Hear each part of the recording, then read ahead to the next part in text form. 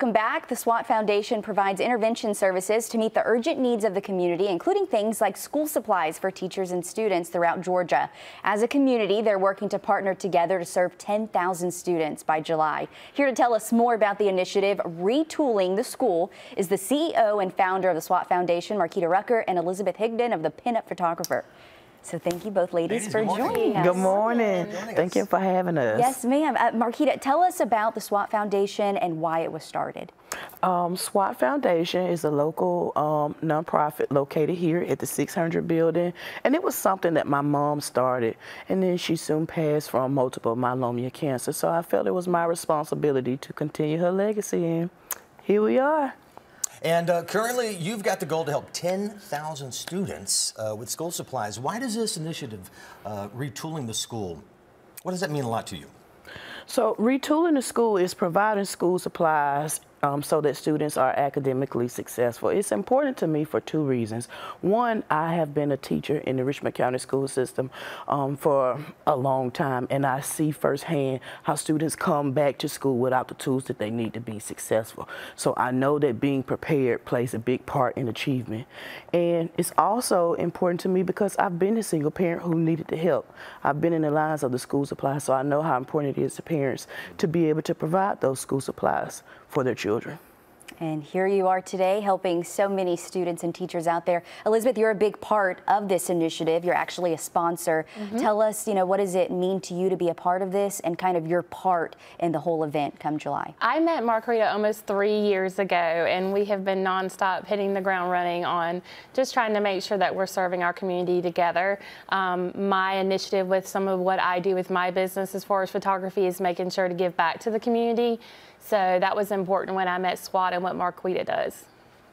And uh, there's going to be a back to school uh, bash in July. What can people expect and how can they help? How can the community assist? Well, one of the main things is we need help from the community. We are trying to partner with 100 community partners to make this initiative possible. So right now we currently have about 37 community partners, so we need 60 more. So we need the community to help us. And one thing that's different about this um, back to school bash than any other school um, back to school bash is that we're going to provide wraparound services. We want this event to be an actual hand up and not a handout. So we're going to be providing services um, through community partners like um, Augusta State University and Medical Associates Plus. They're going to be providing health screenings that children need to be able to keep them in school. We're going to be providing grooming services courtesy of Augusta Tech, like free basic hairstyles and haircuts. We're going to be providing financial literacy, courtesy of, of Regions Bank. And we're also going to be providing access to employment opportunities. We want to decrease the amount of people that we want to serve annually so that our kids can be um, productive citizens. I love that. Hand up, not a handout. That's right. right. Absolutely. So many things going on. And you're actually doing something special with your photography business as well. Yes, so I will be, of course, there covering the, the event like I'm always covering for SWAT. Um, we also do videography for the event as well, so lots of good things going on that particular day in July. And uh, Marquita, the SWAT Foundation, you've got other initiatives too, we uh, do. including uh, Healthy with SWAT and, and an Influence Her. Yeah. Yeah, let's talk about those. So Influence Her is one of our favorite, one of my favorite programs that we have. It's an initiative to show women how to start and maintain their own business. And we actually have an upcoming in-person training okay. June 24th. Come on out. Um, um, 1 p.m. to 4 p.m. And so that's one of our fa my favorite programs that we do. And then getting healthy with SWAT.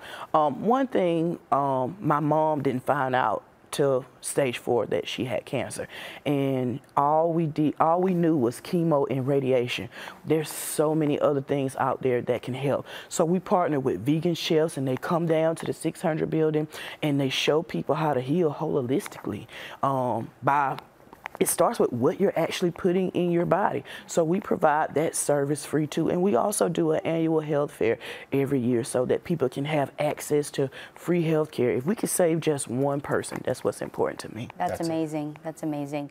We kind of gave everyone a lot of information. There's a lot of things happening with the SWAT Foundation right now, right? June and July. So for people that want more information, you have the Back to School Bash, which is July 29th. Yes. Correct?